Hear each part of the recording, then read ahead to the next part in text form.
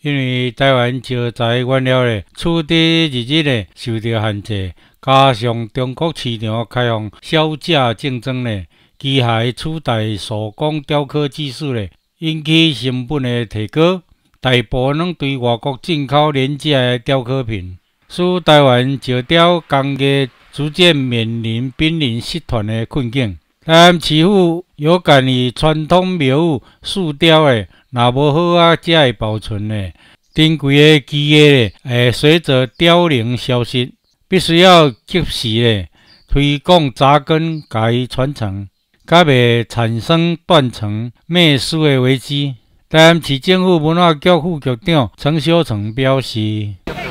因为即马足侪传统工艺一定面临就是后继无人吼，啊要找啥嘛找无，啊或是囡仔嘛无想要接，啊所以足侪咱即马咧企业嘛就足大诶需求，所以拢对大陆进口嘛好，啊是一寡机械诶迄落手雕诶物件，所以即种传统诶工艺渐渐来流失吼，所以咱为着要甲这足好的传统工艺甲保留来，所以咱请董老师开始来做咱一寡传统。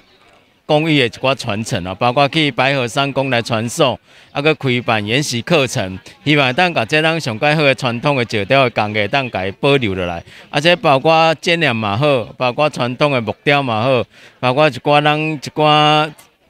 咱台南市足重要一寡传统的工艺，其实拢透过遮甲遮艺术来合作。好，你当去到校园嘛好，啊去到开研习班嘛好，甲咱这上介好的工艺当永秀甲永承传续下去吼。哦，这是文化局近几年来做在意的代志吼。所以董老师即届甲伊的师生伫遮做连载，当讲是非常重要意义。这是董老师第一座所起的庙吼，应元宫。所以咱伫个广场也代表对遮开始，嘛当用续来传承咱上介好的传统工艺。董元山艺术呢，为台南市登录史科保存者。四十年前在应元宫建庙时，负责石雕艺术。大月前的石雕龙跳呢，相当引以为傲。董元山艺术表示：，咱今仔日吼，诶，伫遮办这个出生联展吼，主要就是这间庙我四十当前，二十八岁，我伫遮开始第一间庙。我伫遮做，因为迄当时是对场的工课，所以我做了开始穿起来。啊，甲四十当后，吼，因为有即个因缘，即个庙吼，啊，因有要发展，吼，有要搁有人要甲吼来，互伊搁较发挥的安尼。啊，所以请我来，啊，请我来，大家。结缘了后吼，尾仔才拄啊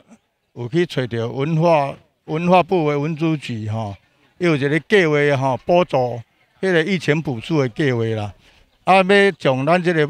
这个、迄个石雕的迄种迄个技术吼传承落去。啊，所以而且伊这个计划落来，啊啊，才我才怎啊落去落去教，啊教一个成果吼。啊，所以我即马来遮是要配合即个咱即间庙吼，会当共同发挥起来，啊，啊会当将我的即个石雕的技术吼一直传承落去，哎，啊，所以即马政府足重视即个迄种即个宣传的问题吼，啊，所以咱这个石雕因为伫台湾吼已经无人啊，哦，啊，所以即个功夫我足可贵的。哦，要一直甲传落安尼，啊，所以即马就是政府诶文化单位吼，啊，会当继续来帮忙吼，帮忙讲咱会当继续搁甲教落就对啦，从我遮功夫拢教出去安尼，哎。董元山石艺新传师生联展呢，对五月十五起到七月十七日在嘉义应元宫边漳州社区发展协会二楼展示。本日开幕首日的应元宫庙前广场，还阁举办有开幕活动，邀请全国所有爱好传统工艺的朋友来到应元宫制作具有董元山艺术风雨的作品，代表作的庙宇，共同来欣赏台南珍贵传统寺庙石雕艺术。以上是大北门新闻网报道。